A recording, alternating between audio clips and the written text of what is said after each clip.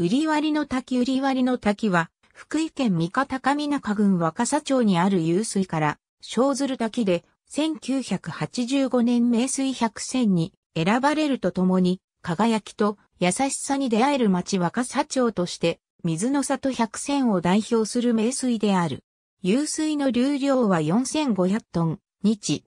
水温が摂氏11.7度と冷たく、その冷たさで、ウリが自然に割れたとの古事から、ウリ割の滝と呼ばれる。大長大師が開いた、天徳寺の境内奥の森中にある。滝周辺はもともと、水の森と呼ばれる修験者の修行地で、また、朝廷の雨乞いを司る、祈祷所だったとされる。また、水中には、高層植物のヒルデンブリンディアリブラリスが繁殖しているため、水中の石が赤く染まっている。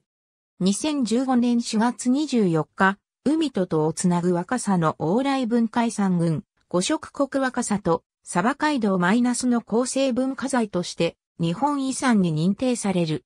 福井県三方上中郡若狭町天徳寺38の三名水百選名水百選、環境省輝きと優しさに出会える町若狭町水の里百選、海と戸をつなぐ若さの往来文化遺産群。文化庁。2020年9月19日閲覧。ありがとうございます。